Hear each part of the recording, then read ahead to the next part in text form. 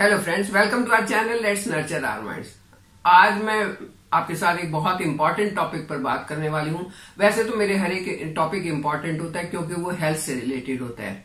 क्योंकि आपकी सेहत और आपकी खुशी से रिलेटेड होता है, इसलिए हर एक इंपॉर्टेंट होता है। लेकिन आज का जो टॉपिक है, वो और भी ज़्यादा इंपॉर्टेंट है क्योंकि वो हमारी आजकल की डाइटरी हैबिट से जुड़ा हुआ है।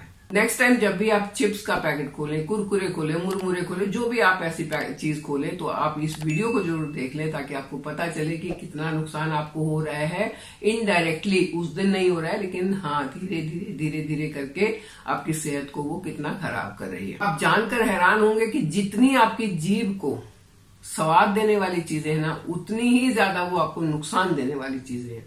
चाहे आप आप घर में बनाने वाली सब्ज़ियाँ जिसमें आप ढेरों ढेरों मसाले ढेरों ढेरों सॉसेज और ये वो डाल के खाते हैं, लेकिन जवान का टेस्ट बढ़ता है, लेकिन वो भी आपकी सेहत का नुकसान कर रही है। आप अपनी तरफ़ से अगर हरी सब्ज़ियाँ खा रहे हैं, लेकिन वो अगर आपने गलत तरीके से पकाई तो वो भी आपको नुकसान कर रही है। आज हम बात करेंगे कि क्यों नहीं खानी चाहिए ये चीज़ें, क्यों नहीं खानी चाहिए हमें processed food packaged food bakery items ये सब चीज़ें क्यों नहीं खानी चाहिए? आजकल अगर हम अपने चारों तरफ़ देखते हैं तो सबकी बॉडी शेप बिगड़ा हुआ है। और उसके बिगड़े होने का मेन कारण यही है, जो हमारी डाइट है, वो सही नहीं है। हम जो चीज़ भी खाते हैं वो सिर्फ़ हमारी बॉडी शेप को खराब नहीं कर रही है, लेकिन अंदर से भी हमें खोखला करती जा रही है। Journal of American Medical Association का एक आर्टिकल छपा था, जिसमें इन सब चीज़ों के खाने से होने वाले नुकसान के बारे में बताया गया था। जिसमें ये बताया गया था कि अमेरिका जैसी जगह में, जिसको हम बहुत ही डेवलप्ड कंट्री मानते हैं, वहाँ पर इतनी ओबेसिटी क्यों बढ़ रही है? इतने हार्ट की प्रॉब्लम्स क्यों हो रही है? इतने डायबिटीज़ का प्रॉब्लम क्यों हो रहा है? या इतनी लाइफस्टाइल डिज़ीज़ क्यों हो रही है? इस सब के बारे में छपा था और उसमें मेन रीजन था। ये जो चीज़ें हम खाते हैं, जो प्रोसेस्ड है, जो on the counter and ready to eat हमको मिलती हैं, वो चीज़ें हमें कितना नुकसान कर रही है। पुराने समय में लोग इतने हट्टे कट्टे क्यों रहते थे? खूब दब के काम करते थे। मैंने तो बचपन में देखा है, खेत में काम करते थे दिन भर। लेडीज़ हो चाहे जेंट्स हो हमारे यहाँ तो लेडीज़ भी बहुत काम करती हैं। और हट्टे कट्टे रहते थे, मस्त रहते थे। घी, दूध, दही, जो खाया वो हजम हो जाता था। आजकल ऐसा क्यों नहीं है? अगर फुल क्रीम दूध पी लिया तो डर लगता है कि मोटे हो जाएँगे, डर लगता है हजम नहीं होगा। क्यों है ये सारी प्रॉब्लम्स? ये सारी प्रॉब्लम्स इसीलिए हैं कि हमने अपने आप को अंदर से इतना कमज़ोर कर लिया है, ये चीज़ें खा खा के फालतू की, कि हम उनको डाइजेस्ट नहीं कर पाते हैं। उन लोगों की सिर्फ़ फ़िज़िकल हेल्थ अच्छी नहीं होती थी, उनकी मेंटल हेल्थ भी बहुत अच्छी होती थी। तो उन दिनों में तो किताबें इतनी नहीं थी, उनको हर चीज़ याद रहती थी, हर चीज़ याद रहती थी। और एक पीढ़ी से दूसरी पीढ़ी में पास ऑन होते रहते थे, जो मेरे नुस्खे में बताती रहती हूँ, ये मुझे मेरी नानी ने बताई थी मेरी माँ ने बताई थी, किसी किताब से पढ़ के नहीं बताए थे, वो याद रखते थे वो लोग। उनकी यादाश्त तेज होती थी उनकी जो फ़िज़िकल पावर थी, वो बहुत अच्छी होती थी मेमोरी पावर बहुत अच्छी होती थी। ऐसा इसलिए होता था कि वो न्यूट्रिएंट डाइट खाते थे। हमारी तरह ऐसी चीज़ें नहीं खाते थे जो हमें बड़ी स्वाद तो लगती हैं। पिज्जा खा लिया बर्गर खा लिया चिप्स खा लिया, कुरकुरे खा लिया क्या क्या खाते रहते हैं? और वो खाना जो है वो हमें नुकसान करता जा रहा है। सबसे बड़ी समस्या जो इन इस खाने की है, अभी रिसेंटली न्यूज़पेपर में भी छपा था। कि 80 परसेंट जो लोगों को डिप्रेशन हो रहा है, जो लोगों को स्ट्रेस हो रहा है, जो एंग्जाइटी हो रही है, जो ओबिसिटी बढ़ रही है, वो इसी प्रोसेस्ड खाने के कारण हो रही है। तो देखो कितना नुकसान करने वाला ये प्रोसेस्ड फ़ूड फिट रहने का एक सिंपल सा मंत्र है 70 परसेंट डाइट 30 परसेंट एक्सरसाइज और 100 परसेंट गट हेल्थ आपकी 100 परसेंट अगर गट हेल्थ है तो आप हमेशा फिट रहते लेकिन आजकल सबकी गट हेल्थ में प्रॉब्लम है।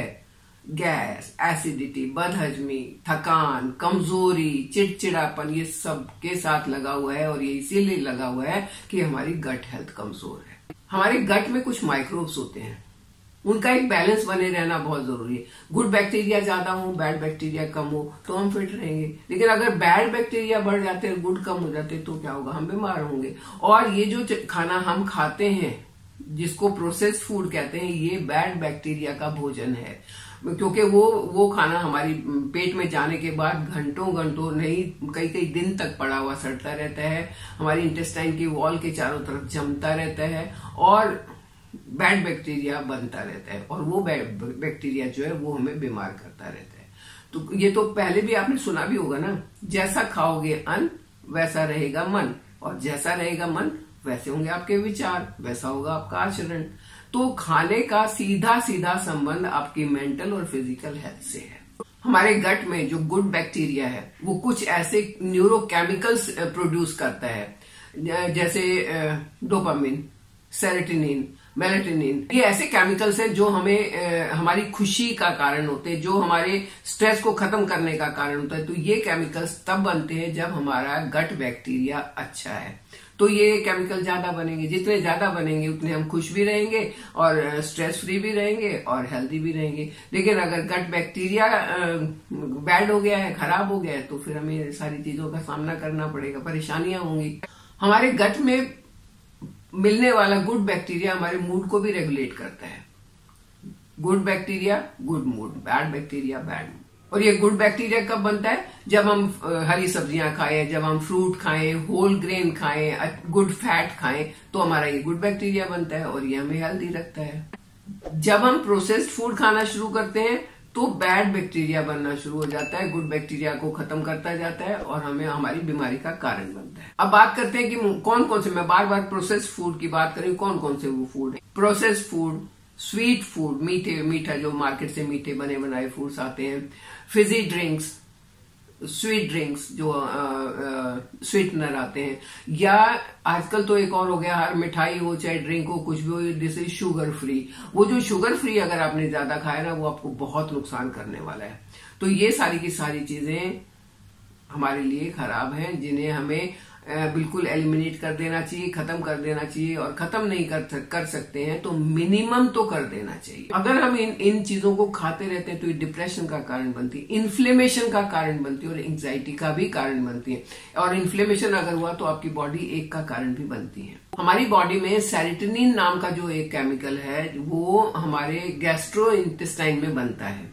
80 से 90 परसेंट वही बनता है। और वो कौन सी जगह है जहाँ पर हमारा फ़ूड डाइजेस्ट होता है? तो अगर वहाँ पर ऐसा फ़ूड पड़ा हुआ है जो डाइजेस्ट ही नहीं हो रहा है, जो पड़ा हुआ सड़ रहा है तो ये जो जो हमारा जो केमिकल है वो नहीं बनेगा सेटनिन नहीं बनेगा। और नहीं बनेगा तो चिड़चिड़ापन और उदासी का कारण बनेगा।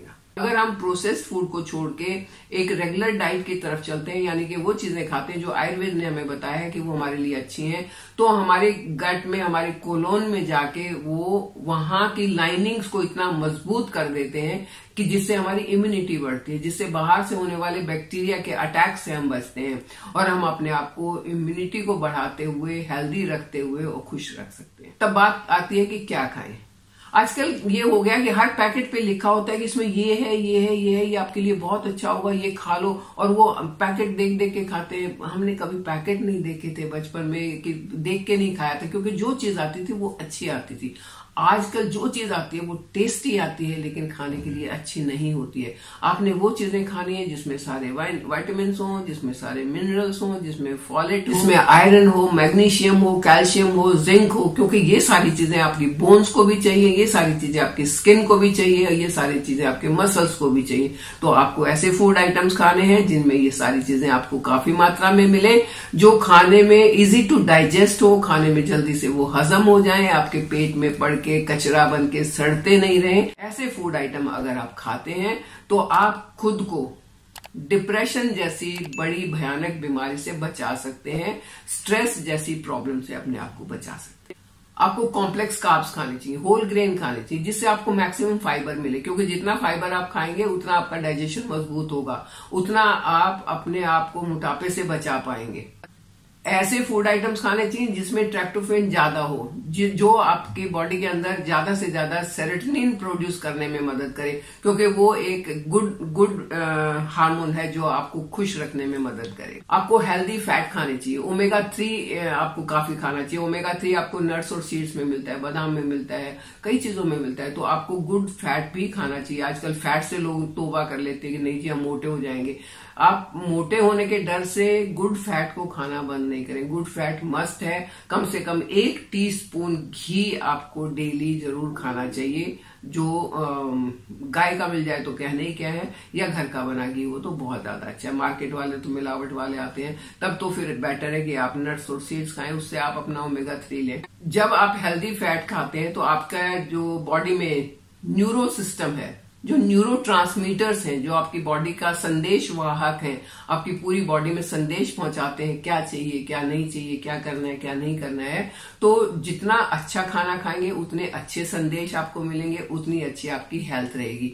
और मैं ये चाहती हूँ कि किसी की भी हेल्थ खराब नहीं हो, दवाइयों पर निर्भर ना रहना पड़े। दवाई कभी कभार बीमार हो गए, खा ली एक आध बार तो वो अलग बात है, लेकिन दवाइयाँ ही आपका भोजन नहीं बन जाए, ऐसा नहीं होना चाहिए। आयुर्वेद के हिसाब से अगर हम चलते हैं, अगर खाते हैं तो हम बीमार नहीं होंगे। आप भी खुद को बीमारियों से बचा के रखिए, मेरे साथ बने रहिए, चैनल को सब्सक्राइब कीजिए। Thank you